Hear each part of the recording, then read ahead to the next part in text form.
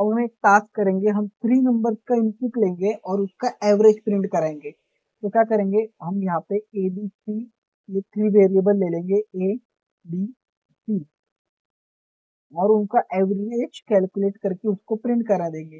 A plus B plus C को divided by three और इसको हम प्रिंट करा देंगे। सेव करेंगे। रिफ्रेश करेंगे।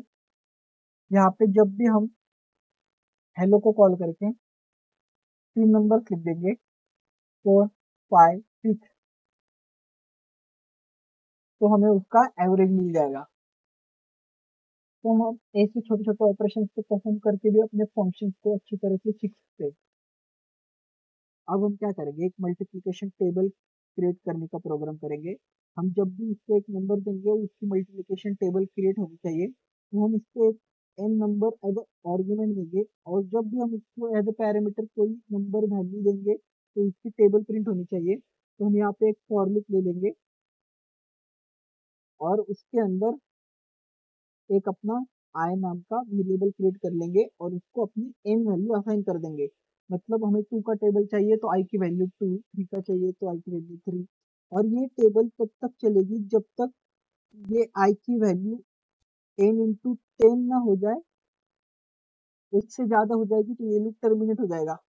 और लास्ट में हम I plus equal to N कर देंगे। मतलब क्या होगा?